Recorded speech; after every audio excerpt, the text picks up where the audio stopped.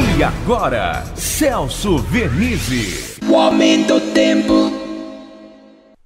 Olá, amiga, olá, amigo. Áreas de instabilidade chegaram até mesmo antes do previsto. Chegaram e mudaram bem o tempo, principalmente no litoral. No restante do estado, gradativamente aconteceram instabilidades que ainda poderão ocorrer nesta quarta-feira. No litoral, chuva a qualquer momento, mas tem períodos de melhoria. Isso vale também para a capital e a Grande São Paulo muita variação. Tem hora que fica encoberto, tem hora que abre um pouco, tem hora que fecha.